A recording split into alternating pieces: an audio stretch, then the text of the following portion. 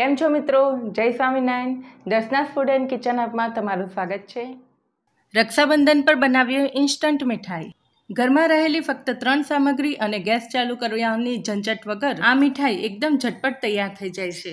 જે બનાવવામાં એકદમ સહેલી હોવાની સાથે મોઢામાં મૂકતા જ ઓગળી જાય તેવી હોય છે. એકદમ સિમ્પલ રેસીપી છે ચાલો બનાવવાનું શરૂ કરીએ એકદમ ટેસ્ટી ઇન્સ્ટન્ટ મીઠાઈ.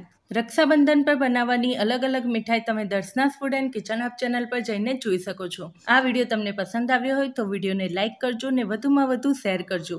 વિડીયોને વચ્ચે સ્કીપ ના કરતા પૂરેપૂરો જોજો. તો ચાલો આપણે સામગ્રી જોઈ લઈએ. એક કપ કોપરાનું ઝીણું છીણ અડધો કપ ખાંડ અને અડધો કપ મિલ્ક પાવડર લીધો છે. એક થાળીમાં અથવા તો કોઈ પણ મોટા વાસણમાં એક કપ કોપરાનું બૂરું એકદમ જે ઝીણું હોય તેને એડ કરીશું.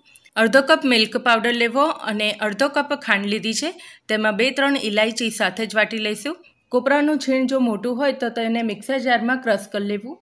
હવે તમે જોઈ શકો છો કે ખાંડને આપણે વાટી લીધી છે અને ખાંડનું બૂરું તૈયાર કરી દીધું છે. એકદમ ફાઇન પાવડર તૈયાર કર્યો છે. બસ આપણને આ જ રીતનો પાવડર જોઈએ છે. હવે જે આપણે મિશ્રણ તૈયાર કર્યું છે તેમાં તેને એડ કરી દઈશું અને સારી રીતે મિક્સ કરી લઈશું. ઇલાયચીને ઓછી ક્વોન્ટિટીમાં પીસવાની હોય તો ત્યારે તેને ખાંડની સાથે જ પીસી લેવી. બરફીના મિશ્રણમાં થોડો મિલ્ક પાવડર એડ કરવાથી તે બરફીને રીચ બનાવે છે અને માવા જેવો ટેસ્ટ આપે છે. આ મિલ્ક પાવડર તમને કોઈપણ કરિયાણાની દુકાનમાં મળી જાય છે અને નાના પેકેટમાં પણ મળી જાય છે. હવે આપણે આ મિશ્રણમાં ત્રણ ચાર ચમચી જેટલું દૂધ એડ કરીશું અને સાથે મિક્સ કરતા જઈશું. જેમ જરૂર લાગે તેમ જ તેમાં દૂધ એડ કરવું, જેથી બાઇન્ડિંગ સારું આવે. અહીંયા લગભગ મેં ચારથી પાંચ ચમચી જેટલું દૂધ એડ કર્યું છે અને તેટલામાં જ મિશ્રણ સારી રીતે મિક્સ થઈ જાય છે. આમ કરવાથી મિશ્રણમાં રહેલી ખાંડ છે તે પણ ઓગળી જશે અને સારી રીતે મિક્સ થઈ જશે. અહીંયા બસ એ વાતનું ધ્યાન રાખવું કે દૂધ એકસાથે એડ ન કરવું.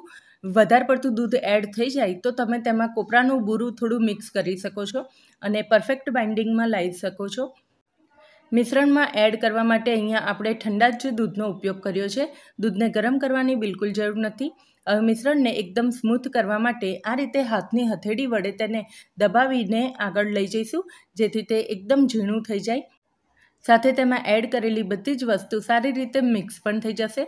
તો આ રીતે આપણે એકથી બે મિનિટ માટે સારી રીતે દબાવીને તેને મિક્સ કરી લઈશું અને એક ડો તૈયાર કરીશું. તમને ખ્યાલ આવે એટલે અહીંયા મેં દૂધ તમને બતાવીને માત્ર ચાર જ ચમચી દૂધ એડ કર્યું છે અને સાથે મિક્સ કરતા રહી છું એટલે આ રીતનું બાઇન્ડિંગ થાય છે. આની અંદર મિલ્ક પાવડર પણ એડ કરવાથી થોડું ઘી જેવું સ્ટ્રક્ચર આવે છે, માવા જેવું સ્ટ્રક્ચર લાગે છે અને બાઇન્ડિંગ ખૂબ ઝડપથી થઈ જાય છે. એટલે દૂધ વધારે એડ ન થઈ જાય, બસ એ વાતનું ધ્યાન રાખવું અને આ રીતે ડો તૈયાર કરવો. હવે બરફીના સ્વાદને સો ગણો વધારવા તેની અંદર બે ચમચી જેટલી તૂટી ફૂટી એડ કરવી. તૂટી ફૂટીની જગ્યાએ તમે કોઈ પણ ડ્રાયફ્રૂટ પણ એડ કરી શકો છો, પણ તૂટી ફૂટી એડ કરવાથી ખૂબ જ સરસ તેનો લુક આવે છે. તો તૂટી ફૂટીને બરફીના મિશ્રણમાં સારી રીતે મિક્સ કરી લીધી છે અને તેને રાઉન્ડ શેપ આપીને એક ડો તૈયાર કરીશું અને તેને એકદમ સ્મૂથ બનાવી દઈશું. આ ડોને બંને હાથની હથેળી વડે રાઉન્ડ શેપ કરીને તેને રોલની જેમ તૈયાર કરવાનો છે. તો તમે જોઈ શકો છો કે ગેસ ચાલુ કર્યા વગર એકદમ ઝડપથી આપણી બરફી તૈયાર થઈ ગઈ છે. હવે આ બરફીને તમે અલગ અલગ શેપમાં કટ કરી શકો છો. આ રોલને આ રીતે આપણે થોડો ટાઈટ રાખીશું, જેથી આપણે કટ કરતી વખતે તે સરળતાથી કટ થઈ જાય. તો બંને બાજુથી આપણે દબાવતા જઈને આ રીતે રોલ તૈયાર કર્યો છે. બરફીને સેટ કરવા માટે અહીંયા મેં એલ્યુમિનિયમ ફોઇલ લીધેલું છે. એની જગ્યાએ તમે કોઈ પણ બટર પેપર અથવા તો પ્લાસ્ટિકને ઘીથી ગ્રીસ કરીને લઈ શકો છો. એલ્યુમિનિયમ ફોઇલની ઉપર પણ મેં ગ્રીસ, ઘીથી તેને ગ્રીસ કરી લીધું છે. ત્યારબાદ તેમાં રોલ મૂકી દઈશું. બરફીના રોલને એલ્યુમિનિયમ ફોઇલથી આપણે એકદમ સરસ રીતે ટાઈટ બંધ કરી દઈએ. તો આ રીતે ક્લોઝ કરી દેવાથી તેમાં બિલકુલ હવાનો ભાગ જાય નહીં અને એકદમ ટાઈટ તે રહેશે. તો તેને બંને બાજુથી આ રીતે આંટી મારીને બંધ કરી દઈશું અને તેને આ જ રીતે છથી સાત કલાક માટે પણ રાખી શકો છો અથવા તો તેને સેટ કરવા માટે ફ્રીજમાં પણ રાખી શકો છો. ફ્રીજમાં રાખીને સેટ કરવું હોય તો માત્ર એક જ કલાકમાં તે સેટ થઈ જાય છે. તો હવે એક કલાક બાદ આપણે તેને ઓપન કરીએ. એલ્યુમિનિયમ ફોઇલમાં રેપ કર્યા બાદ હવે તેને આપણે એક કલાક ફ્રીજમાં રાખીને તેને ઓપન કરીએ છીએ. અને તમે જોઈ શકો છો કે રોલ એકદમ સારી રીતે સેટ થઈ ગયો છે. બસ હવે આપણે તેને કટ કરવાનો છે અને કોઈ પણ શેપ તમે આપી શકો છો. આ રીતે બરફી સેટ થયેલી હશે તો તમને કાપવામાં પણ એકદમ સરળતા રહેશે. કાપતી વખતે જો સેટ ના થયું હોય તો તેમાંથી માવો બધો છૂટો પડી જાય છે. તો ખાસ તમે તેને એક બે કલાક માટે પણ રેસ્ટ આપ્યા બાદ જ આ રીતે કટ કરજો. તમે જોઈ શકો છો કેટલો સરસ રાઉન્ડ શેપ આવ્યો છે. તો બધી જ બરફીને આપણે આ જ રીતે કટ કરી દઈશું. હવે મીઠાઈને બજાર જેવો લુક આવવા માટે તેની ઉપર સિલ્વર ફોઇલ પણ લગાવી શકો છો. તો અહીંયા મેં ચાંદીની વરખનો ઉપયોગ કર્યો છે અને તેને આ રીતે રેપરમાંથી કાઢીને મીઠાઈની ઉપર લગાવી દેવી. જો તમારી પાસે સિલ્વર ફોઇલ ના હોય તો તેને સ્કીપ પણ કરી શકો છો. અહીં જણાવેલી ટિપ્સ અને સજેશન તમને પસંદ આવ્યા હોય તો વિડીયોને લાઇક કરજો ને વધુમાં વધુ શેર કરજો. આ જ રીતની અલગ અલગ મીઠાઈ જોવા માટે Darshana's food and kitchen hub channel પર બની રહેજો. હજુ સુધી તમે Darshana's food and kitchen hub ચેનલને સબસ્ક્રાઈબ ના કરી હોય, તો સબસ્ક્રાઇબ કરી લો, બેલ દબાવો, જેથી દરેક નવા વિડીયોના નોટિફિકેશન મળતા રહે. Darshana's food and kitchen hub ચેનલને હવે તમે ફેસબુક ઇન્સ્ટાગ્રામ અને ટ્વિટર પર પણ ફોલો કરી શકો છો. રક્ષાબંધન પર ઝટપટ થાળી કેવી રીતે તૈયાર કરવી, તો તેની રીત પણ તમને Darshana's food and kitchen hub channel પર જોવા મળી જશે.